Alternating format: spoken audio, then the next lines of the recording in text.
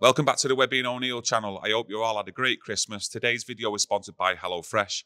For more information on HelloFresh, click the link in the description or the QR code up on screen. And I'll also tell you at the end of today's video about an amazing offer brought to you by HelloFresh. But first of all, it's match preview Manchester United versus Aston Villa.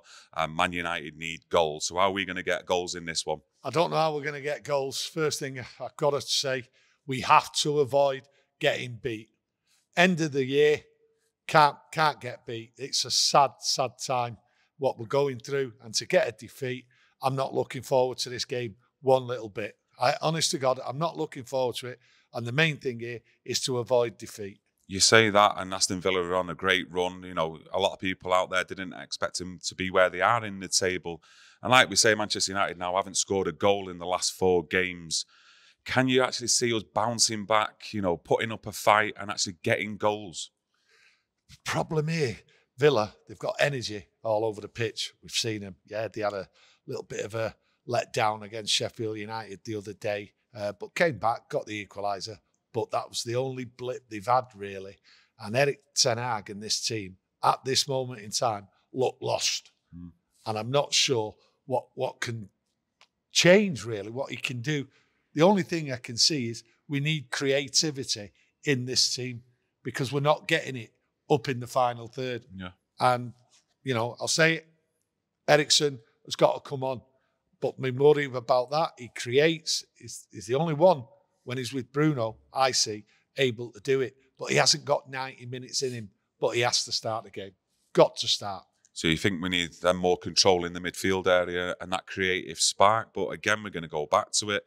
Once we do create any chances, you know, and we are one on one with a keeper, let's say, your heart's in your mouth and it's kind of niggling in your brain that you know we're going to miss this. Yeah. So surely the players are thinking that as well. If we're thinking that as fans. Well, listen, the other day there, after after the West Ham defeat, there, Erik Ten Hag's got to get these players up. He's got to get the confidence back into him, and it's going to be very, very hard. And that's what seems to be missing: the confidence. Uh, once they're in the final third, United, it doesn't seem as though they know what they're doing.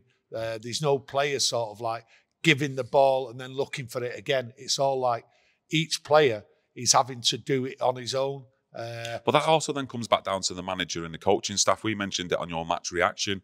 You know, what is they actually doing in training? Because it looks like there's no plan. United here, what we've seen recently, it's all like moments, really, isn't it? Hoping that a player produce something individually.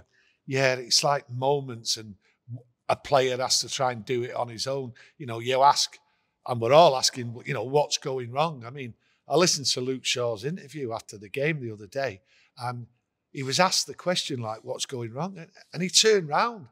He says, I don't know what's going wrong. I, I don't know what, what, whether it's a lack of confidence or a lack of this or this isn't working. Well, if he doesn't know, how the hell do we? Mm. You know, you know, how, how can we judge what's going wrong when players on the pitch don't even understand anything what's going wrong. Or do you think he has got an idea of what's going wrong, but he's you know a little bit reserved in thinking, well, I can't really say that in a public domain kind of thing against any of his teammates, against the manager, because surely they're there day in day out at training, and he must know what's going wrong. Yeah, but he he must know what's going wrong, but he's going wrong as well. You know, it's not.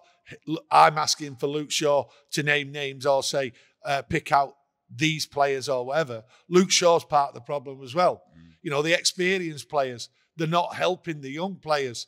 The young players seem to be like running and doing the bit, but they're not getting the help. Mm. Uh, and people like Luke Shaw, people like your Rashford and all that, uh, your Bruno, your Scott McTominay, they're letting other young players down. On the pitch, to me, I, I, I don't know what you think, but it's a lack of confidence in all in all departments. Uh, and Erik Ten Hag's got a big job. A lot of players here really seem to be going through the motions. As the other day, I seen too many players smiling, laughing, and joking and all that with the opposition. You know, on and off the pitch before the game, after the game. I mean, that's not what Man United are all about. You know, what we need is we need players there able to create on the pitch, and it's not happening. Højlund, Antony, Garnacho looked a shadow of what really good players they are. They were they were abysmal, and there's a reason for it. And there's no creativity in this team, and it has to change. Yeah, look, you go past previous results, apart from the West Ham game. You know, he does tend to change it quite a bit, Erik Ten. You look at the West Ham, you know, the two centre halves, obviously down to injuries as well and poor form. But that was a 10th different partnership we've had at centre defence this year. Now, do you expect Willy Kambwala to start again alongside Jonny Evans. You know, is Varane going to be fit? He, he, did miss out due to an illness, but he will have a much, much tougher game if he does start against these Villa forwards. I mean, you, you do have to look, I mean, at all the injuries what, what we've had. It has disrupted each first 11. It's not a regular first 11 what's going out there. I mean, for Varane to be out the other day and then Willy comes in and, you know, it wasn't what I was expecting. It's not what the players are expecting. You're either injured or you're ill. It just keeps going on and on and on. And I do feel sorry for Ten Hag because he's having to put up with like these are my tactics. This is what I want to do. This is what I want to set up. Get but a style I understand, of play. I understand but that. It, it's not happening. I'm worried. Saying. I've got to be honest with you. I'm actually worried, and I'm worried for the manager because you know these injuries just keep seeing like they're occurring week on week. He gets one player back, he then loses two, and he can't get any rhythm at all. But as also, he's not blameless here, Ten Hag we've got to start seeing some sort of plan on the pitch where you know these players are working together we're not seeing these players work together enough. And when they're going forward into these forward areas, yeah, some individual mistakes that have cost us where they're not putting the chances away where they should do, but we're not seeing any sort of pattern of play. You know, Højlund, you know, does he make that run near post? Does he hold back? You know, does he make a run to the back post for a cross to go over? It's like they're not too sure, like, if they've ever played with each other before. I agree. I agree with you. And it's a big worry for me. Yeah, I agree with you on that point. Well, listen, you know, we've got Villa today, right? And it's as simple as this. We've got to see this game through. It's a tough period, mm. and all we can hope for is pray that we come good in the new year. And he has play- mentioned that. I know, yeah, he's mentioned it. I've mentioned it that we come good in the new year, but it's been poor. Well, I hope it's, you're right. It's been, well, I hope I'm I right. hope you're right. But there's, there's players there what just aren't good enough. But to be honest with you, looking at the Villa, they'll open up if a team opens up, then United have got a chance, but they have to set on the right foot. It's as simple as that. We I understand what you're saying. I need the fight. I need players to run. I need players to sweat, and I need to need to see them work for each other and create. Now Villa will give us opportunities today. They will give us opportunities because of the way they play. They're coming to Old Trafford. I don't think they Villa want, will be They that... want to score. They want to win. It, chances Listen, will be created. I don't think Villa will be scared at all. I did say they would be. Old Trafford today about conceding chances to Man United when we've not scored a goal in the last four games. They will not be worried about Manchester United today at all. I can guarantee you that because we're not scoring goals. Villa will play how they've been playing all season and they'll stick to that game plan. And they've got a manager on the sideline look, you've got to look at his record. It speaks for himself. A very tactically astute manager. He knows what it's all about. And if they have to change from plan A to plan B, he can do it in a flash. Oh, yeah. And this Villa team today, I expect him to come here with full of confidence. And like you've just said, if these players aren't up for it today, they've not got even that fight, what is the bare minimum you expect.